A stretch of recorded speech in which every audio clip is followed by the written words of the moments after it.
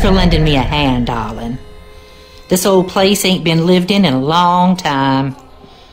Longer still since it had a good cleaning.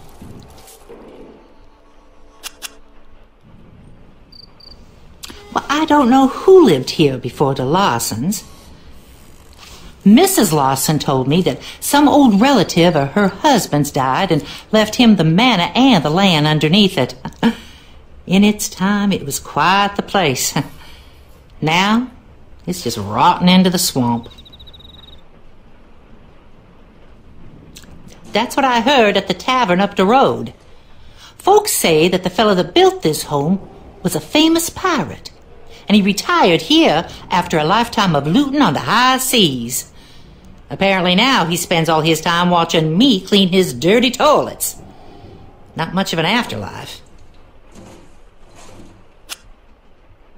Seems that Mrs. Lawson's husband heard the same talk as me. Only difference is, I have enough respect to leave the dead to their business and me to mine. I ain't never seen a ghost, and I don't want to. Still, there's something strange going on in this house. I'm sure you have noticed it. Have you seen that crazy clock? Take this damp cloth and the key and go to the music room. Help me clean a few dirty windows to see what I'm saying.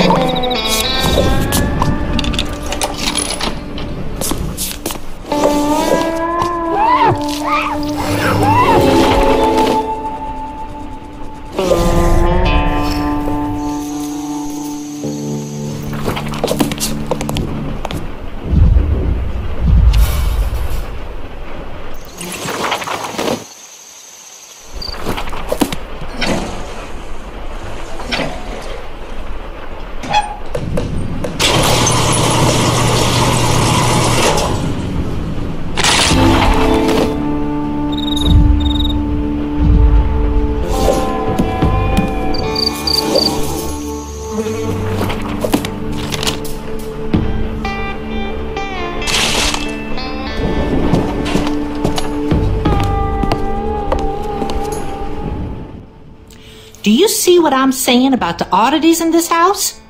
My husband Louis and I have found strange things all over the place. That clock and that piano are perfect examples of what I'm talking about. And I'm not sure that I believe a pirate hid his treasure in this house. But then again, my beliefs are not necessarily those of other folk, if you know what I'm saying. You can rub your knuckles raw knocking on that door, but she ain't gonna let you in. She's really been spooked. If you want to get inside, I suggest you find a spare key.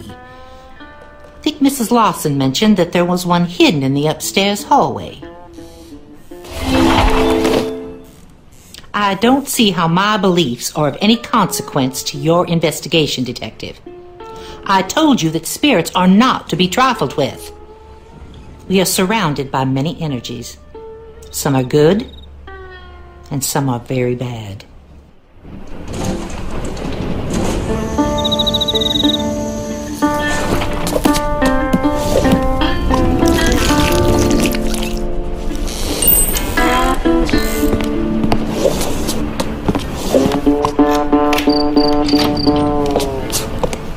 Hi, I'm Magnolia. My mom said you're here to help us find Daddy.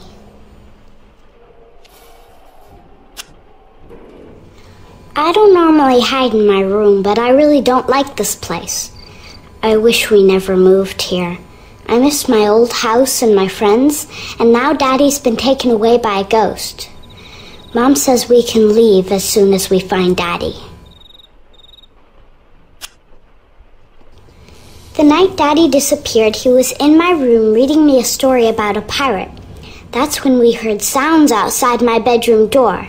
It sounded like heavy boots climbing the staircase, and then we heard screams.